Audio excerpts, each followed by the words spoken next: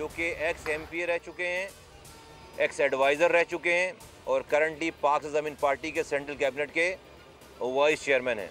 इन्होंने अब से चंद लम्हात पहले कोर्ट को ये इल्तजा की है कि ये जो गुज्त दिनों सिंध असम्बली में पीपल्स पार्टी की मौजूदा हुकूमत ने एक ऐसा बिल पास किया है जिसको लोकल गवर्नमेंट्स अमेंडमेंट बिल 2021 का नाम दिया गया है जो अमेंडमेंट्स की हैं 2013 वाले लोकल गवर्नमेंट के के के, के कानून में उस कानून को इस अमेंडमेंट को इस बिल इस बिल को हम यकसर आवाम दुश्मन समझते हैं आइन के ख़िलाफ़ समझते हैं कानून के ख़िलाफ़ समझते हैं और जमहूरीत के नाम पर ये एक बहुत बड़ा काला दाग है। और अगर ये बिल जो अमेंड किया गया है और ये कानून, अगर ये बिल एक्ट बन गया और एक्ट बनकर ये लागू हो गया तो खाकम बदहन, मैं आज पाकिस्तान और पाकिस्तानियों को, पाकिस्तान के तमाम रियासती इदारों को और पाकिस्तान के एक एक फ़र्द को मीडिया के ज़रिए बताना चाहता हूँ कि फिर एक ऐसा तूफ़ान बरपा होगा इस शहर कराची से, महरूमियों का, ज़्यादतियों का, जो कि ऑलरेडी मौजूद है, लोग ख़ुदकुशियाँ कर रहे हैं। मैं आता हूँ अभी इसके ऊपर, कि फिर इस मुल्क की नेशनल सिक्योरिटी ख़तरे में पड़ जाएगी। इस मुल्क की बका और सलामती को ख़तरात लाक होंगे। क्यों?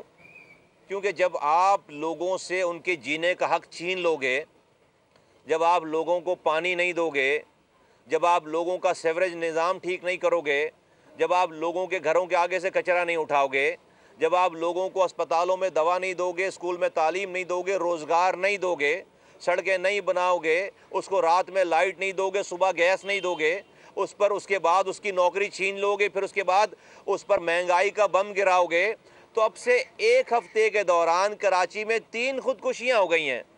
तो आपका क्या ख्याल है कि तीन करोड़ लोग सबके सब खुदकुशी कर लेंगे? नहीं नहीं नहीं। सब खुदकुशी नहीं करेंगे। अभी गुज्त दिन, उनतीस साल नौजवान ने तीस, तीसरी मंजिल से छलांग लगाकर एक शॉपिंग सेंटर में अपनी जान दे दी। एमएससी है, मास्टर्स किया हुआ है, साइंस में। फ़र्स्ट डिवीज़न फ़र्स्ट से पास आउट है, घर का सबसे बड़ा है, रोज़गार नहीं है, मायूस होकर, इस निज़ाम, इस माशरे की ज़्यादतियों का शिकार होकर खुदकुशी कर ली। तो तीन करोड़ आवाम रहती है शहर कराची में, सब के सब खुदकुशी नहीं करेंगे। अगर नौजवानों ने ये फ़ैसला कर लिया कि हाँ अब हम मरने के लिए तैयार हैं, लेकिन मरने से पहले इन हुक्मरानों को मार कर मरेंगे, इन ज्यादतियों का इजाला करने की कोशिश करके मरेंगे, फिर क्या होगा? आप आ जाएँगे बंदूक लेकर उनको पकड़ने के लिए, उनको लापता करने के लिए उनको पाबंद सलासल करने के लिए बड़े बड़े टीवी पे टीवी पे तस्वीरें दिखाई जाएँगी तो बड़ी बड़ी तस्वीरें दिखाई जाएँगी कि हमने बहुत बड़ा दहशतगर्द पकड़ लिया। कानून हाथ में ले रहा था।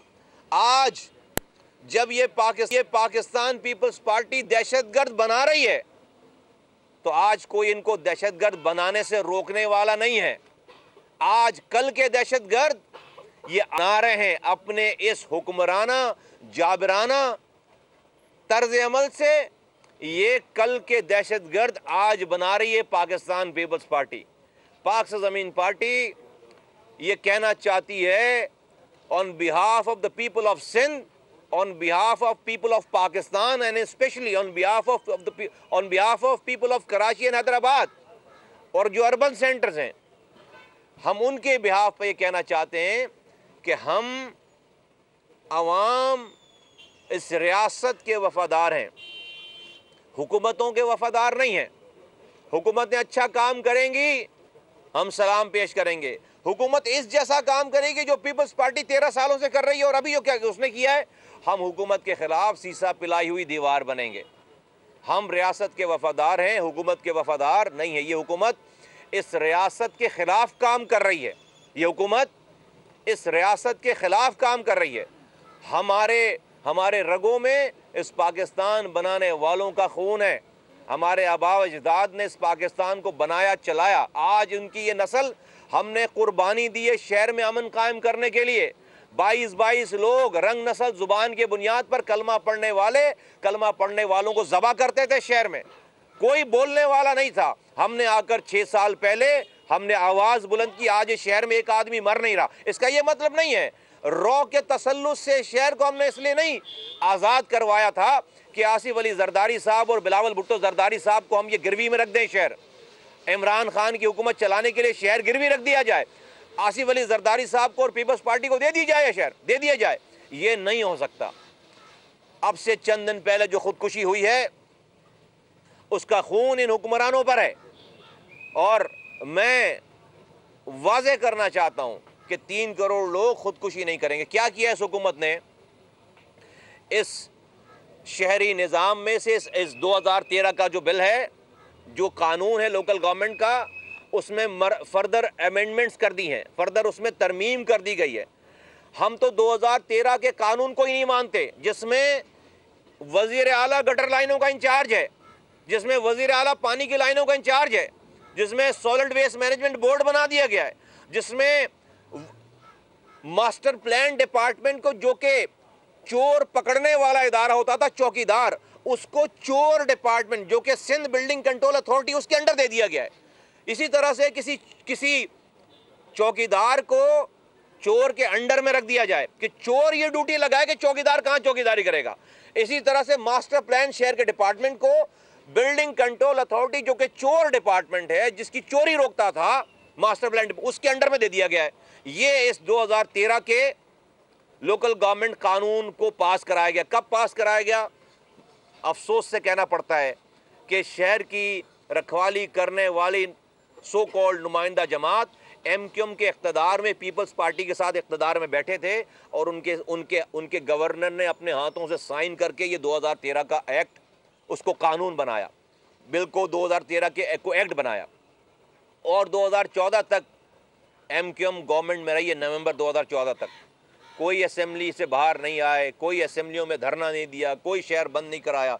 शहर बंद कराने वाली पार्टी थी 2013 वहाँ से इस पीपल्स पार्टी वालों को खून मुँह लग गया है।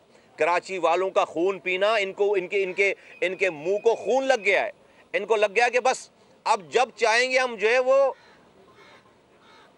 जितने चाहेंगे अख्तियार छीन लेंगे। और उसका अगला नतीजा ये है कि उन्होंने आज से चंद दिन पहले जो उस 2013 में भी बचे कुछ अख्तियार थे, वो भी वापस ले लिए। और उसमें क्या किया कि सारे तालीमी इदारे वो सिटी गवर्नमेंट से लेकर प्रोविंशियल गवर्नमेंट को दे दिए गए। सारे हेल्थ के इदारे सिटी गवर्नमेंट से लेकर प्रोविंशियल गवर्नमेंट को दे दिए गए। सारे रेवेन्यू कलेक्शन के जितने भी वेन्यूज बच गए थे, उसको सिटी गवर्नमेंट से लेकर प्रोविंशियल गवर्नमेंट को दे दिए गए।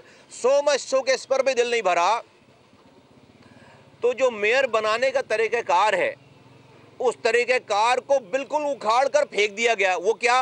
कि भाई पहले ये होता था कि जो यूसी जो यू काउंसलर बन सकता हो या बन जाए और जो यूसी नाजिम बन जाए वो मेयर का कैंडिडेट हो सकता था।